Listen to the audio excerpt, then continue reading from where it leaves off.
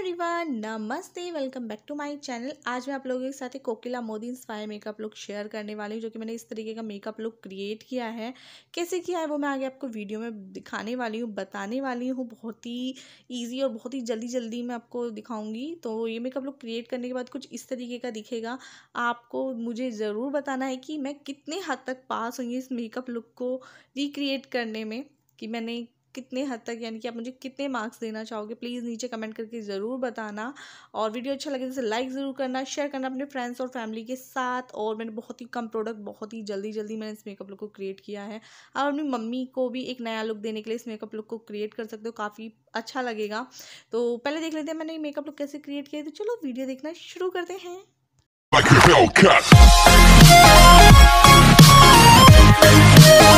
तो मेकअप करने से पहले ज़रूरत पड़ती है हमें प्राइमर की तो मैंने मटर के दाने जितना ये ब्लू हेवन का प्राइमर है, जिसे मैंने ले लिया है, पूरे फेस पे अच्छे से अप्लाई कर लूँगी इसको। उसके बाद लूँगी मैं ये ओलिविया की पैन स्टिक जो कि मेरी मोस्ट फेवरेट एक फाउंडेशन स्टिक है कंसीलर स्टिक बोल दो फाउंडेशन स्टिक बोल दो। ये मुझे बहुत ही पसंद है, जब आपको जल्दी जल्दी मेकअप करना होता है तो मैं इसी यानी कि स्टिक को यूज़ करती हूँ, मुझे बहुत ही पसंद है।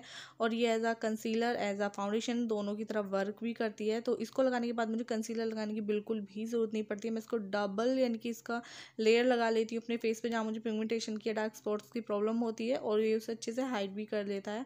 तो उसके बाद मैंने ये वेट की ब्यूटी ब्लेंडर से इसको अच्छे से ब्लेंड कर लूँगी, बहुत ही स्मूथली ब्लेंड भी हो जाता है। तो इसलिए मेरा बहुत ही मोस्ट एंड फेवरेट एक बेस यानी कि प्रोडक्ट है, जो कि एज अ फेस बेस का वर्क करता है बहुत ही अच्छे से। तो मैंने अपने नेक एरिया अपना फेस सबको अच्छे से इक्वली बेस लगा लूँगी इसका और अच्छे से ब्लेंड कर लूँगी।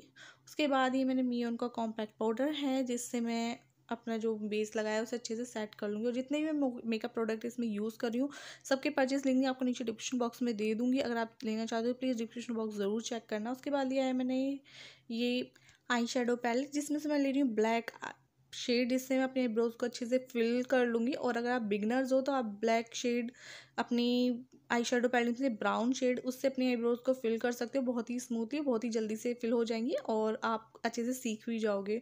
उसके बाद लिया मैंने इसी पैलेट में से लाइट पीची सा कलर है ऑरेंज पीची सा कलर जिससे मैं अपनी फ्लपी ब्रश की हेल्प से अपनी आईलेट पर अच्छे से अप्लाई कर लूँगी। पूरी आईलेट पर मैं इसको अप्लाई कर लूँगी as transition colour crease line पर अच्छे से, यानी कि मुझे और दूसरा कोई शेड लेने की ज़रूरत ना हो। तो मैं एक फ्लफी ब्रश की हेल्प से इसको अच्छे से अप्लाई कर लूँगी अपने आईलिड पर।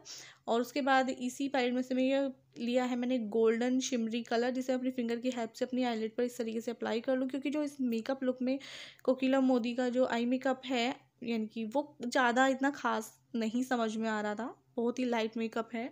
तो मैंने यहाँ पर लिया है मिस रोज़ का ब्लैक जेल आईलाइनर। इसके साथ ये ब्रश आता है जिसकी हेल्प से मैं लाइनर ड्रॉ कर रही हूँ और इसे एज अ काजल और लाइनर दोनों की तरह मैं इस जेल आईलाइनर को अप्लाई करूँगी अपनी आइज़ पर, क्योंकि जो इनका लाइनर और काजल है उस पर ही ज़्यादा फोकस किया जाता है। ऐसा जो आई शेडोज़ हैं, उस पर इतना नहीं फोकस किया जाता है इनका काजल और लाइनर पर बहुत ही ज़्यादा फोकस किया जाता है, जिससे इनकी जो आइज़ है काफ़ी बड़ी बड़ी दिखती हैं और फेस पे ज़्यादातर यानी कि अच्छी भी लगती हैं। तो मैं इस तरीके से इसको अपनी जो काजल और लाइनर को इस तरीके से ड्रॉ कर लूँगी अच्छे से अपनी आइज़ पर और उसके बाद मैं यहाँ पर कोई फेक आई नहीं लगाने वाली हूँ। यहाँ पर सिर्फ़ एक लैशेज़ की कलर की हेल्प से अपनी आई को कर्ल कर लूँगी और फिर एज अ मस्कारा मैं अपनी आई को कर्ल कर लूँगी सिंपल इसके बाद कोई भी आई मेकअप में हमें कुछ भी और नहीं करना है, सिर्फ़ इतना ही करना होता है। उसके बाद हिलाई रोडा की रेड लिपस्टिक और इससे ही मैं सिंदूर भी यानी कि लगा लूँगी अपने माथे पर, इसी लिपस्टिक की हेल्प से, इस तरीके से, थोड़ा लंबा सा यानी कि मैंने सिंदूर लगाया है और सिंदूर के नीचे एक छोटी सी वाइट कलर की बिंदी भी लगाई जो कि इसमें इन्होंने लगाई हुई थी और काफ़ी अच्छी भी लगती है।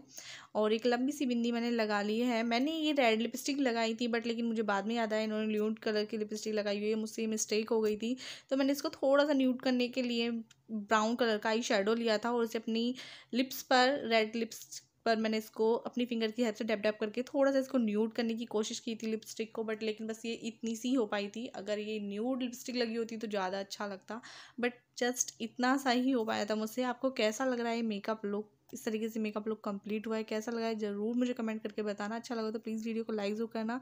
शेयर करना अपने फ्रेंड्स और फैमिली के साथ और अगर ऐसा ही और कौन सा मेकअप लुक देखना पसंद करोगे, आप प्लीज़ मुझे नीचे कमेंट करके ज़रूर बताना। तो अगर आपने चैनल को सब्सक्राइब करें तो प्लीज़ बेल आइकन को ज़रूर हिट कर लें जो कि मेरी आने वाली वीडियोज़ हैं, उनका नोटिफिकेशन आप लोगों को मिल जाए। तो चैनल पर पहली बार आए तो please subscribe my channel subscribe कर रखे थे। थैंक यू सो मच तो इस वीडियो के लिए थैंक यू नेक्स्ट वीडियो तक के लिए बाय बाय थैंक यू